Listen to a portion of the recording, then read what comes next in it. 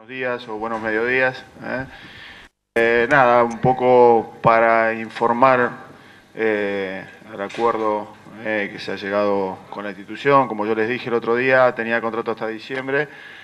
pero bueno, después de, reunirme, como bien saben ustedes, el día lunes, en una charla que tuvimos con los dirigentes, llegamos a, un acuerdo con el cual se ponía fin a nuestro trabajo como, cuerpo técnico eh, después del partido de Ñul. ¿no? Así que, em, bueno, escucho un poquito, era para decirle esto, algo que más o menos ya estaba eh, por ahí en los comentarios de todos, eh, nada más a oficializarlo más que nada. ¿no? Escucho las preguntas. Bueno, no sé ¿qué, sensaciones tenés, imagino que la idea era seguir, lo dijiste en la conferencia de prensa. Sí, sí. no estarás no sé si conforme, de acuerdo con, la decisión que más que nada tomaron los dirigentes, por la decisión de ellos. Mira, eh, yo digo que mm, uno analiza un montón de cosas. Yo, yo sobre todo lo que manifiesto y lo que me da la fuerza para trabajar son las respuestas de los jugadores. Y las respuestas de los jugadores nosotros las seguíamos teniendo y las seguíamos viendo. Eh, en este semestre nosotros el gran objetivo nuestro fue la Copa Libertadores. Eh, nos abocamos muchísimo a la Copa Libertadores y por ahí, en esos momentos de, clasificar a la, fase, a la siguiente fase de grupo, no, nos permitió por ahí tener el mismo rendimiento en el torneo local que fue la carencia de puntos que nosotros sacamos al principio. Eh, quedamos primero de grupo eh, en la Copa Libertadores, pudimos poder otra vez centrarnos en el campeonato y empezamos a sacar puntos otra vez. Eh, luego quedamos afuera por penales, eh, por un penal de la Copa Libertadores en octavos de final y, nos abocamos al campeonato. Desde ese punto, desde lo que yo te acabo de decir, solo perdimos con Arsenal. Eh, solo perdimos con Arsenal. Y en cuanto al juego, hemos tenido partidos buenos y partidos malos pero seguimos viendo la respuesta dentro del campo de los jugadores. Entonces eso es lo que yo a mí me motiva y a nosotros nos motiva a querer seguir hasta diciembre y cumplir nuestro contrato. Después, eh, la charla que uno puede llegar a tener a nivel directivo, eh, ellos exponen un punto de vista, nosotros exponemos otro, este que acabo de decir, y, uno nada más acepta eh, y evalúa lo, lo que han dicho y ahí está todo, ¿eh? ahí está todo dicho, nada más. Eh, yo vuelvo a decirte lo mismo, nos creíamos con fuerza necesaria para seguir trabajando, eh, pero después, por supuesto, la charla final de cómo se da todo esto, o sea, me la guardo un poco para mí, he manifestado un poco a a, los dirigentes la postura mía, ellos manifestaron la nuestra, le he manifestado a los jugadores también de esta charla parte y, ahí, ahí queda todo un poquito eh, eh, por ahí en reserva final el comentario. ¿no? El viernes juega la Nusa Rosario, Gabriel. Sí.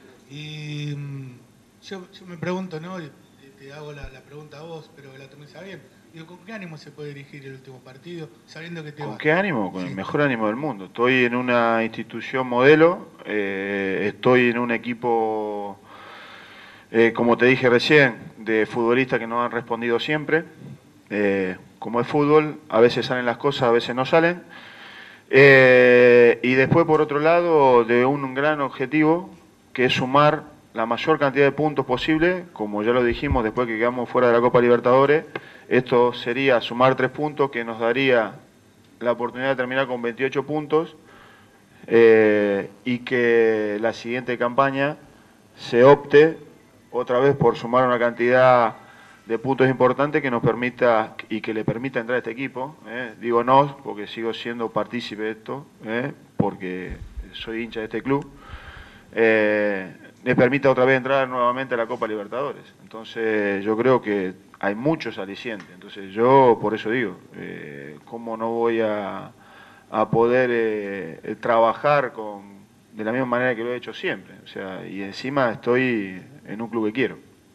Gaby, buen día.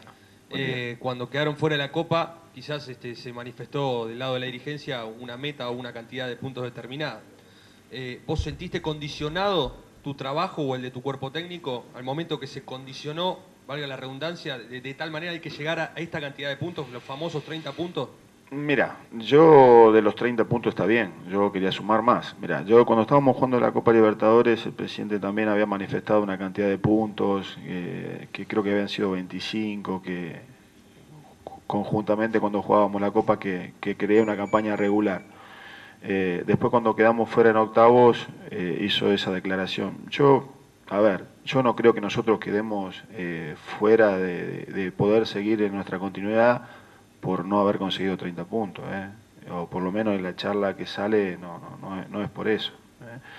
Eh, después cada uno sacará sus propias conclusiones. La campaña nuestra, como dije, cuando nosotros estuvimos abocados a la Copa Libertadores, no fue buena en el torneo local, sacamos pocos puntos. Ahora cuando nosotros quedamos fuera de la Copa Libertadores, solo perdimos con Arsenal.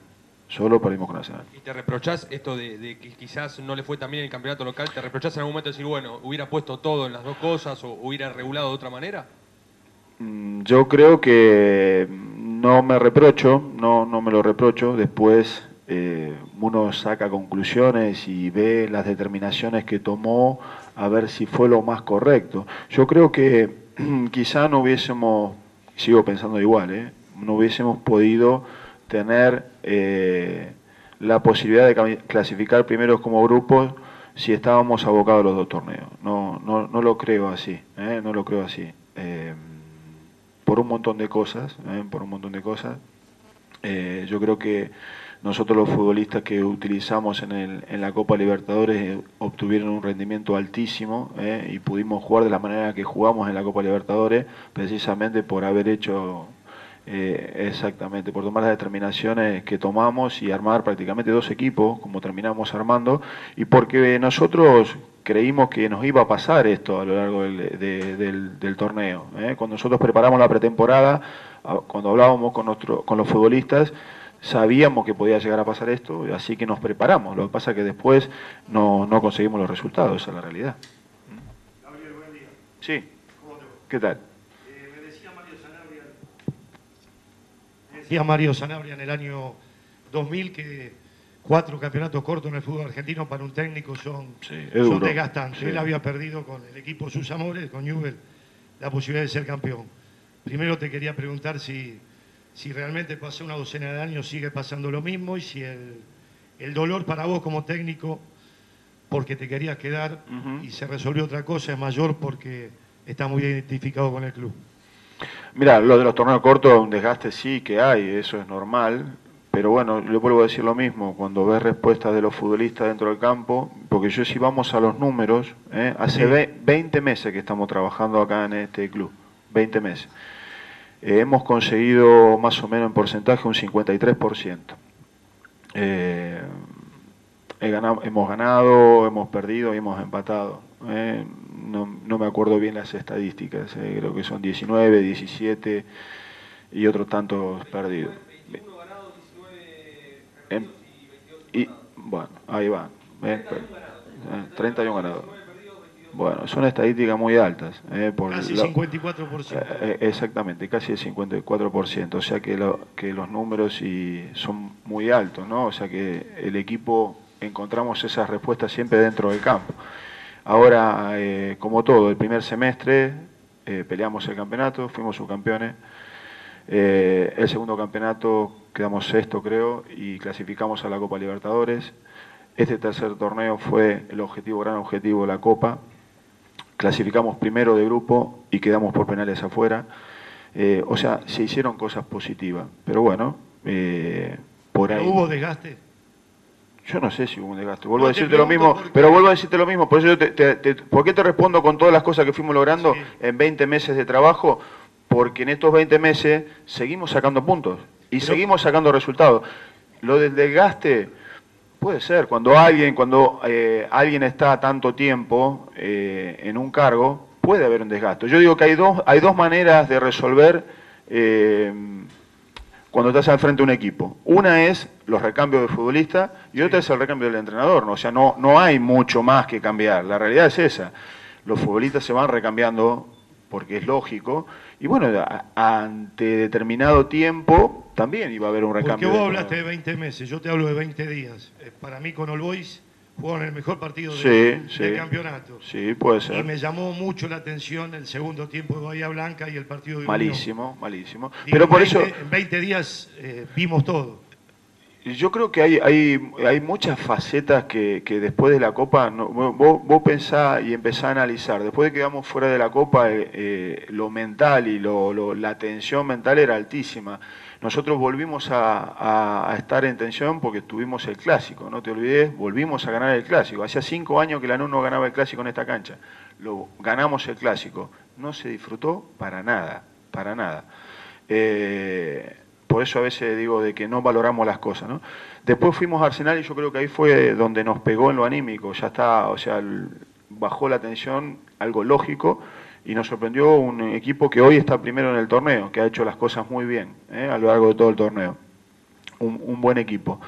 Eh, y nos sorprendió.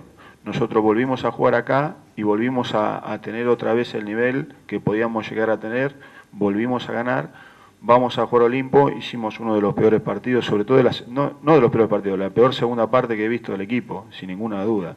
Eh, igual de todas maneras, trajiste un punto. Y el otro día con, con Unión acá no fue un buen partido, aún era un rival duro, durísimo, y volviste a sacar un punto. O sea, son las cosas que, nos han pasado, pero este equipo siempre ha respondido. Eso yo hablo de las respuestas de los futbolistas. Entonces, las respuestas las hemos obtenido, los objetivos siempre es salir o conseguir un título.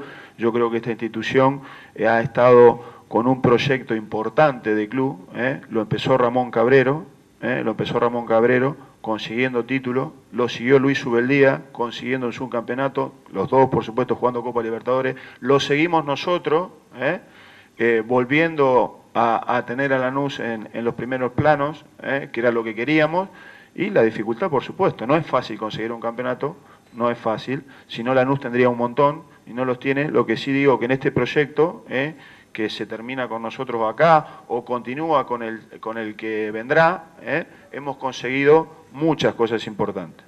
Nada más que eso. Yo creo que eso son las cosas a valorar, a mirar eh, y a resaltar de la institución, de los que decidieron todo este proyecto y, agradecido sobre todo por formar parte de esto, ¿no? de este club, de esta oportunidad, de las cosas que, hemos conseguido y mirar un poquito el vaso medio lleno y no siempre tanto medio vacío. sí.